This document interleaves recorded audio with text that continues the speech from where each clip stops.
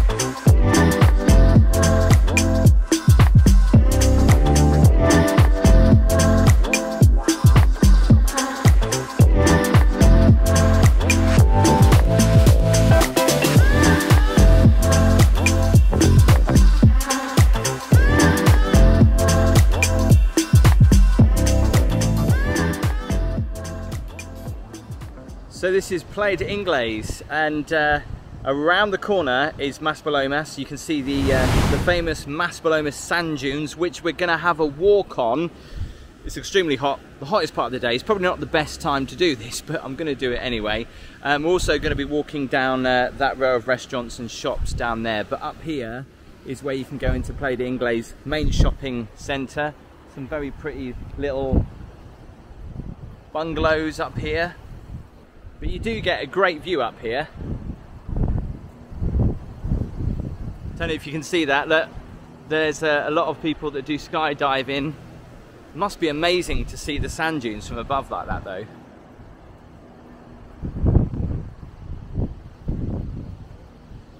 Here and Puerto Rico, warmest parts of the island, especially in the winter.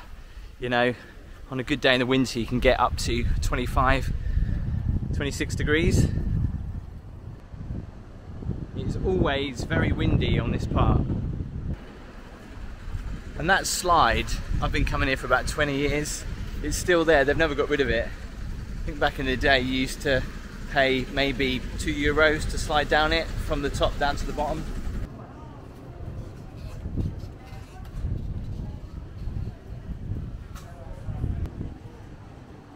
Temperature there saying 26 degrees, pretty much average for most of the year. It's quite windy down here, so I do apologise. I haven't got my other mic on me.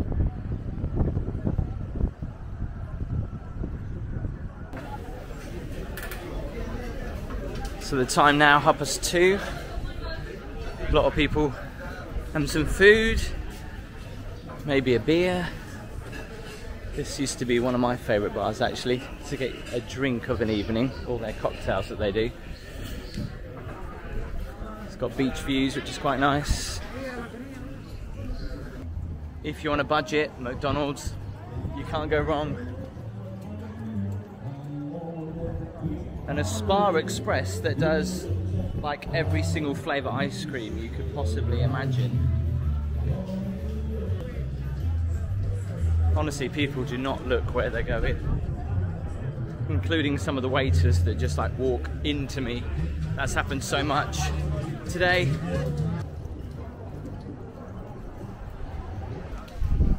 as you go further up it starts to go a little bit more quieter and where the sand dunes of Maspalomas begin I'm already sweating so this is going to be hot.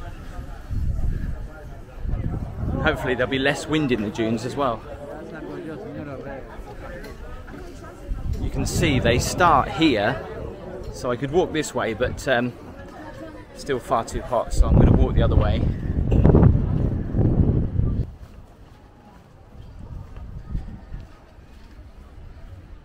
Just look at the view.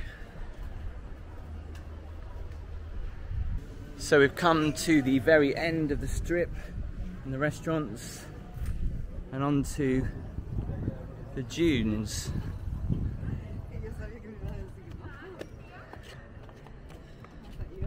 Here we go.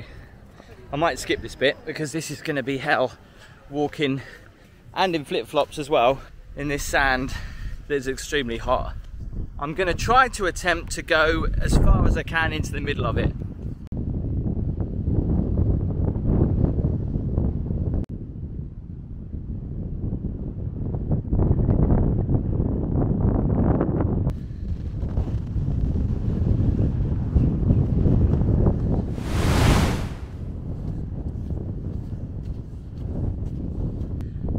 So the thing about these sand dunes is they're constantly changing. Just look at that with the wind, how it's completely reshaping them constantly.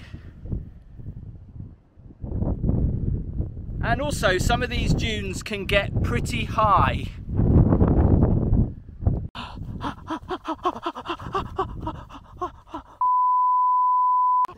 Oh, I'm not gonna lie, the sand is so blistering hot, even walking with flip-flops on, it's painful. So these sand dunes actually cover around about a thousand acres and a lot of people thought that the sand came originally from the Sahara, which is not actually correct. Over thousands, millions of years, it literally came up from pretty much the seabed. That's what I read online anyway. I'm gonna move because the sand's blowing in my face right now because I'm in a little ravine and uh, the sand is sweeping down. Probably not the best place to do it, but I was just trying to get out the wind a little bit. But uh, yeah, let's continue the tour. Just look at where I am right now. And when you get into the middle of these dunes, it's the closest thing you're gonna get to being in the Sahara, I guess. And all you see is just sand dune after sand dune. And obviously, I would suggest you bring water, better shoes than flip-flops and also maybe bring a sun hat. That's probably a good idea because right now I've got none of those. I'm in the middle of the Maspalomas sand dunes and you do have to walk up some pretty big sand dunes. Let's see what's over the edge. I tell you that is not easy walking up these dunes in flip-flops. And as we, as we get up here, well, we've got quite the view, but even more sand dunes to discover. My blooming flip-flop.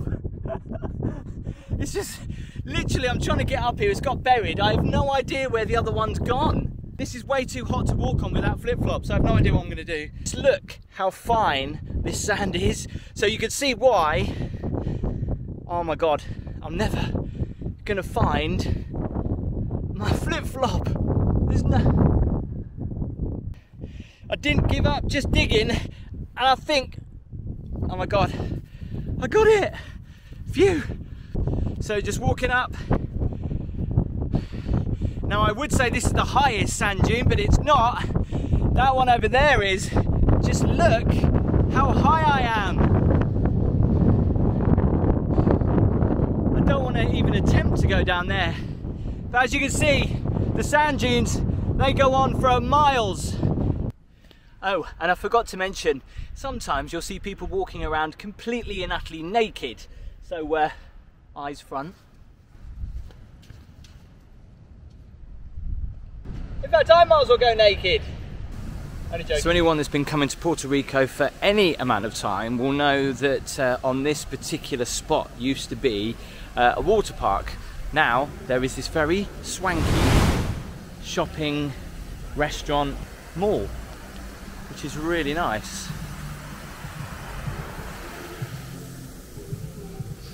What's um, quite odd about it is is when you look, very posh buildings, and then of course the volcanic rock. And uh, even more weirder is the fact that there's a big dried up water channel, or waterbed, whatever, going all the way through it, which hasn't been used for years, but just in case if they have a flood up above in the mountains, the water needs to be able to come through here down to the sea. And actually it goes all the way along um, Puerto Rico and any of the restaurants and buildings. They kind of have to build slightly over it. I don't think they build over it, but obviously just segregated. So you've got the new, and then you've got the old up there. Very nice, but uh, very expensive. I think there's an Indian there, that's an American like burger chain. But yeah, it's very nice. You got an Italian restaurant there, and a, uh, a noodle place I've never heard of before. But uh, this also looks pretty good at night with the fountains. They do a different display every uh, five minutes or so. Kind of really eerie to see those blokes at the top there. Nice ceiling. I think there's even more shopping down there, but we're literally going to be walking down towards the harbour and the beach. I'm just showing you the uh, the new part of Puerto Rico. Can you see the steam that's coming out on the roof? Water vapour coming down and cooling you off. It doesn't stay on all the time. You can see it over there, it looks like smoke. It just comes on for about 15 minutes and then uh, gets switched off again. But uh, you got all the big designer shops here. Mango, Timberland, the Spanish shops as well. And I obviously in Spain, I love the shopping centres that are outside in with the uh, the air coming through. Love it. Don't know if you can see that, there's a fan up there. I don't think that's going to do much, being outside, do you? So leaving the new mall behind and heading to the old shopping centres in Puerto Rico. Obviously the shopping centres here are places where you go and have food of an evening, watch live entertainment, as well as do a little bit of shopping. Mostly they're, uh, they're kind of like camera shops and, and little cheap tacky shops. I love these flowers in the Canaries. I remember buying one of these once to put in my garden. It lasted all of a day. So Puerto Rico is in a big valley, basically. So you've got hotels to the left and to the right as well yeah, in Gran Canaria you'll find shopping centres everywhere. Some are themed like the Irish centres and English centres as they call them. Others are generic. And I'll just show you what the kind of things what kind of things you get inside them. Obviously you're spoiled for choice for places to go for some food um, and on a night out it's pretty busy up here. But obviously this time of the day, a lot of people are still in bed. It's amazing how quiet it is right now. I was here last night, it was very busy. As I said, places to go, for some food, do a bit of shopping. You know, some people find them tacky. I love them actually. I mean, you can get a, uh, a pint for two euros, a large beer. You can get everything in here, including even though it's September, some Christmas stuff. How random. These are different. It's a bottle opener with um, pretend liquid inside. Now, I've been coming here for a number of years, and uh, because of the new mall, this has had a little bit of a facelift. And when I say facelift, they've added some new I don't know, fascias on the side and added these little wood trusses to try and make it look a little bit more sexy, I guess. In fact, you can still see them doing bits of fascia work on the, uh, the front of the shopping centre. Before I go any further, as you know, I'm a big fan of uh, McDonald's and I wish they would have something like this in the UK. A McDonald's cafe. Check this out. How cool is this, look. Something called McPops, never heard of them before, little donuts, I think. But the, uh, the cappuccinos and frappuccinos look so much better.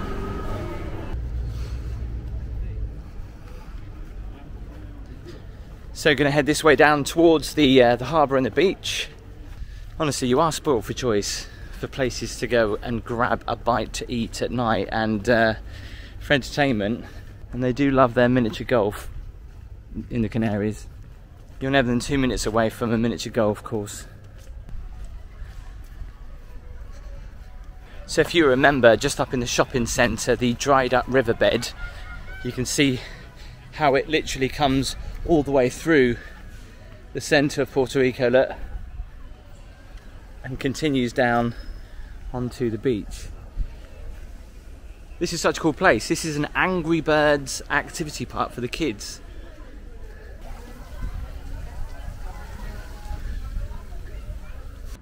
You know, if you ever wanted to have your own little bit of paradise, I saw one of these for sale. Right, these are tiny little bungalows, probably maybe one to two bedrooms. I saw one of these for sale for 90,000 euros. I don't know which one it was, but I saw it come up on um, as we walked past an estate agent's just further up near one of the restaurants. I believe it's one of the ones down here. They normally have a for sale sign in the window, but um, yeah, a little bit of a front garden could do with some uh, some painting. But for 90 grand, if I had the money. There's also a beach club here to my left that uh, whenever I've been here, it never seems very busy whatsoever. So um, I don't know. it feels like it's missing something, but I don't know what. So even though this is a port, there is a beach in Puerto Rico. It's not overly big. The sand isn't black. It's uh, kind of golden colour. There's some beds that literally go all the way around the breakwater. We'll just go and have a look up there. So yeah, you remember the uh, the dried up riverbed. This is kind of where it comes out. So you wouldn't want to be around here if there was uh, a lot of rain further up in the uh, in the higher routes.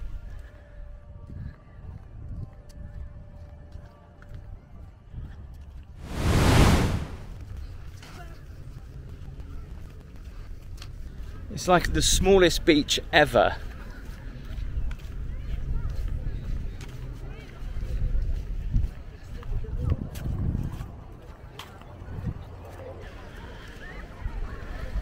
Can see all the hotels look hugging the uh, the valley.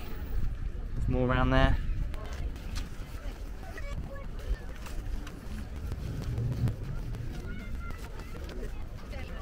Feels rather weird to have a sunbed here because it's a long way to go at the toilet or if you want to grab a drink I guess you'd have to bring it with you.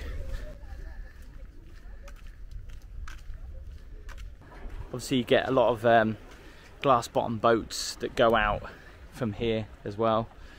People do fishing. But further around that corner is uh, one of the nicest beaches on the island called Amadores. Let's go and check that out. So, Puerto Rico is about 15 minutes walk along there. And if you walk along this uh, coastal path, just next to the humongous rocks, you'll come across one of the best beaches on the island.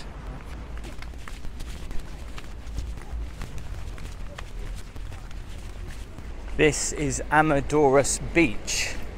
And um, what's quite unique about the beach is it looks almost like a Caribbean beach, white sand, which actually has been imported. But also the downside of having white sand is that the water will be a lot colder than um, elsewhere on the island, even though it's in a bay. What's really cool about it is they put sunbeds along the rock bar. I'm just gonna have a walk over there. These are weird as well. They are scattered along here and they're actually chimneys from the restaurants that are below because if I just come across here you'll see what I mean. It's all these awnings and stuff underneath them, the restaurants. So all this is built on the roofs, and these are all the um, the chimneys for the food. So you'll uh, often smell quite a lot of bit of uh, food smells coming from them. I thought they were just like a little design thing, but they're not. It's a pretty big beach. Pedalo's, there's a, an inflatable water park over there if you want to get away from all the crowds of the beach, you can come and uh, get a sunbed here. Very nice. Although, to be honest, I checked out the prices. It's four euros for a sunbed, four euros for a parasol. So that's uh, eight euros. And obviously, if you want to come with somebody else, that's 12 euros just on sunbeds and parasols. You see a lot of these boats go past with um, excursions on them, catamaran there. I always remember when I first came on holiday to the Canary Islands, I remember the rep saying, a day on the water is worth three on the beach, which is absolute rubbish.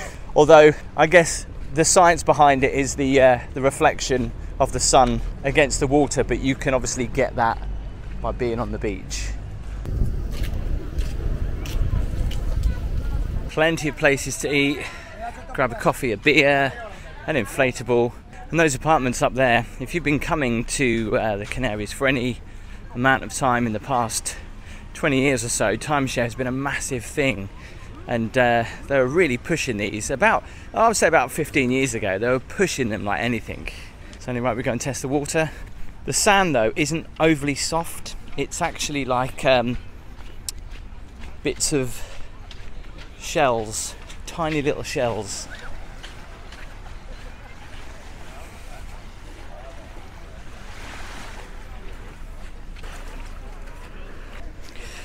Oh, so cold! So cold, but uh, so nice.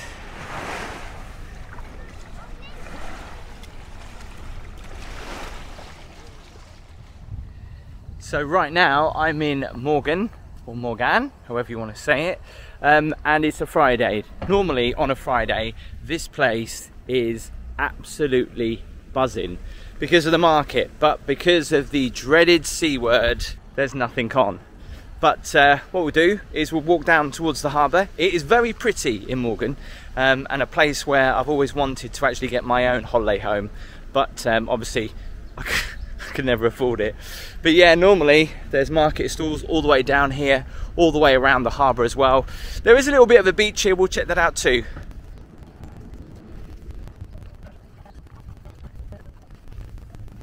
Do you know what? I've only ever come here when the market is on, so uh, it's actually really weird to be here when the market is not on because it is so quiet.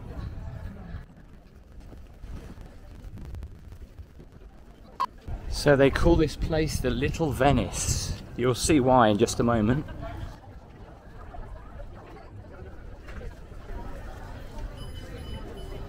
So it's got a little mini beach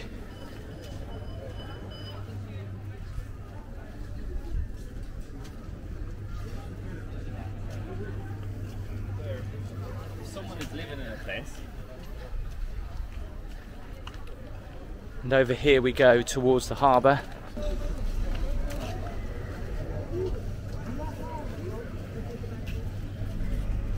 You can see why people call it the Little Venice. Very pretty.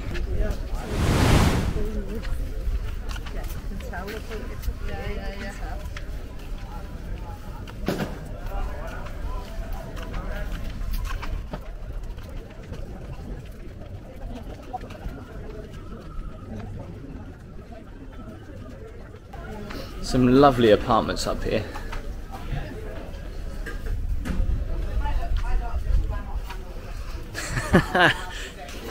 you don't see many mannequins with a face like that, do you?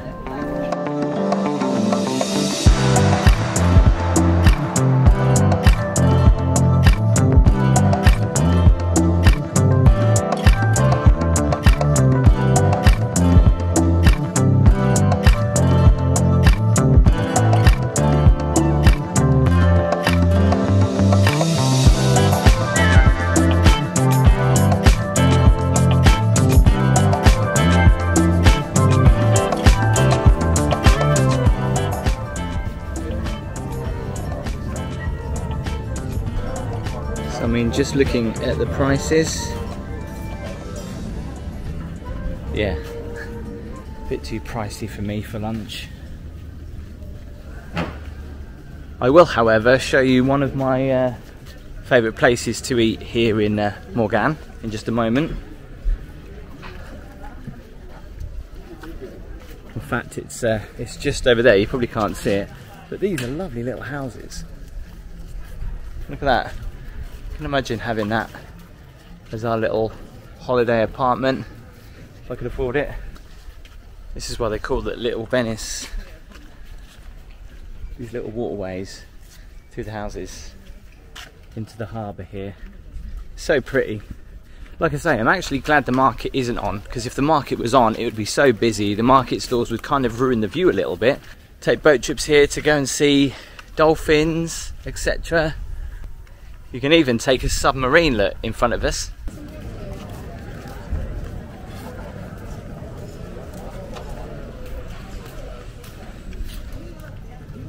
Look at those fish.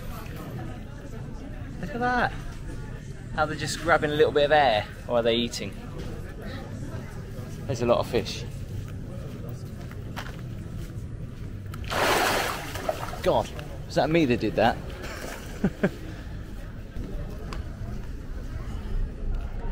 if you ever wanted to stay in Mogán itself, there's actually a hotel here which is very nice. It's four star.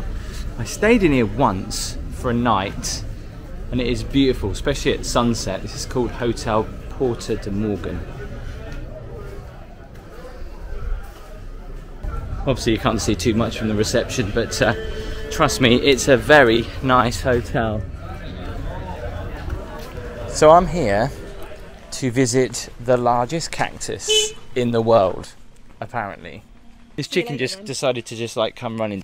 He keeps, I don't know, Keeps which, chasing us. there's this chicken that keeps following us. Do you want to come home with us? That, and then as soon as you go toward it, it's like, walk around the corner, see if he follows us. Quick, hide. Oh, I keep thinking of Smidge right now. go, go, go. So, this is cool. Um, nobody's serving in here. There's a table there that's reserved, but for who? That is the question. There's all this uh, very. Wow, these are all full. Good day, mate. Where's the bartender? Gabby, these are all full. It was a cat. When it No, but the, but some of these some of these bottles of wine are like really old, and they, and, and they're all full. I don't get it. Does someone normally serve behind it? Well, I just said to this guy, Good day, mate. Where's the bartender? Is he Australian? he looks it. What's these whiskey barrels? They're not looking like they're having a very good time. no.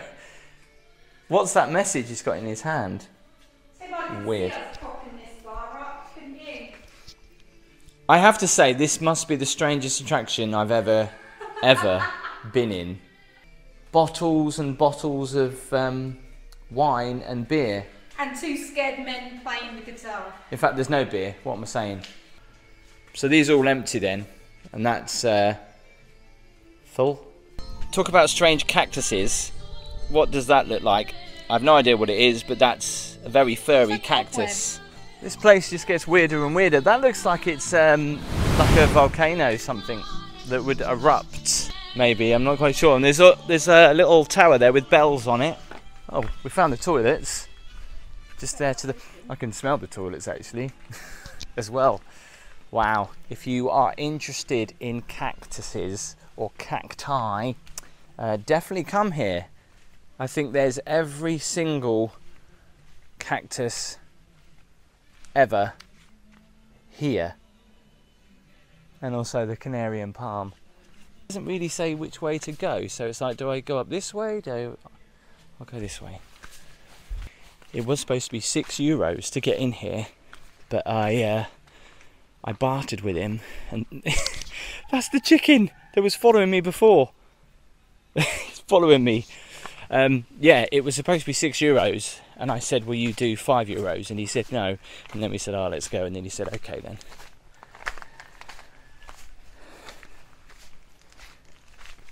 These are fruit, aren't they? I believe. I forgot what they're called, but you can actually eat them. So strange.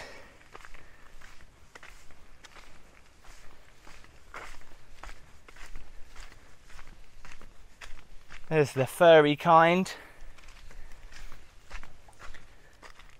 The mini spiky kind. And the flipping ridiculous spiky kind as well. They're small, they're bushy, or they're long. What the? What That chicken is following us. That chicken has followed us all the way up here, and we I've really walked far. He keeps following us. I think we've read it wrong, you know, because you know it said the world's biggest cactus.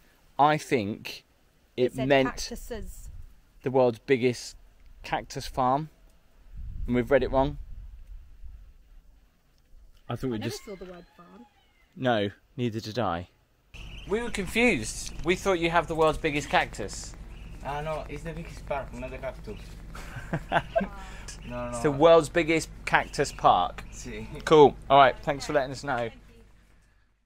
And if you want the ultimate sundowner experience, head here at sunset, as long as you don't have a fear of height.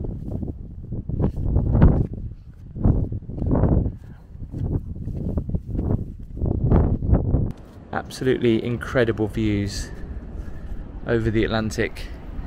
Like I say, if it was clear, you'd be able to see Tenerife, Mount Teide at the top. Often in the winter, you can see snow on there. I don't know if you can hear that, the waves crashing underneath.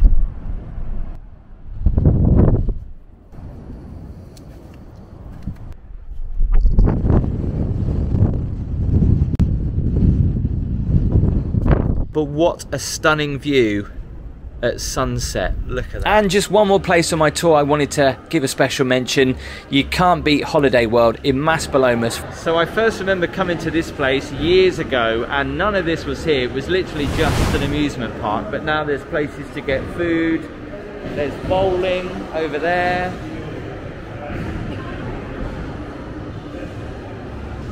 And I think you actually, and so you have to pay to get in here. These used to be free to walk around, but now you have to pay to get in.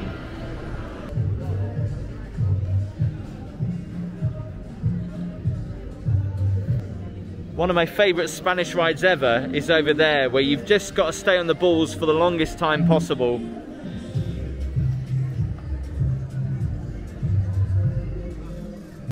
But I've got here about 10 o'clock and it closes literally at 10.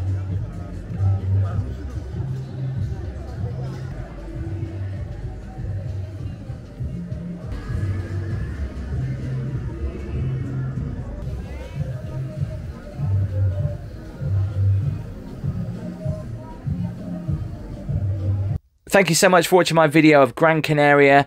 If you liked it, please make sure you give the video a thumbs up, hit subscribe and click the notification bell and hit all.